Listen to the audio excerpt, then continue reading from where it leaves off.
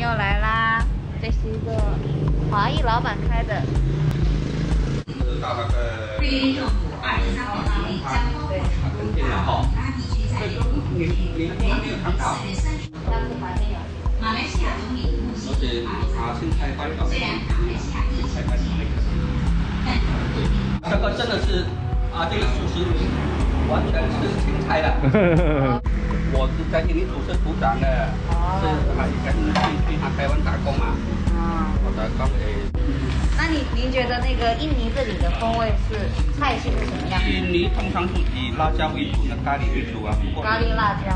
我是吃不来，因为他们是用利用那种那种黄姜，还有咖喱啊、辣辣辣椒啊，而且他们比较那种实在，很怕寡味。吃素食真正的重点是蔬菜类。啊，玉米，你还这样喝都很好喝了，你还再配上它芹菜更好喝，配上那个胡椒粉，这个三包的玉米那种浓汤的。三包玉米。哦，三包玉米，用巴厘岛玉米便宜便宜到你笑。啊。对，我的素食都是全部维他命的。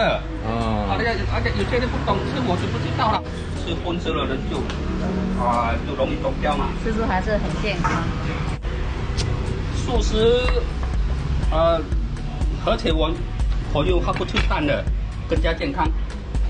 这个它高丽菜必须要，啊，呃，必须要让它炸一下。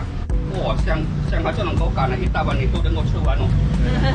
啊，看看它软软甜甜的，很好吃哦。素食本来就是给人类它健康的，是看你懂不懂享用而已。你想不想回国内去旅旅游，去看一看？想啊，哪 哪里不想？对，有机会去去中国发展，出出还不错。是是是，真的不错。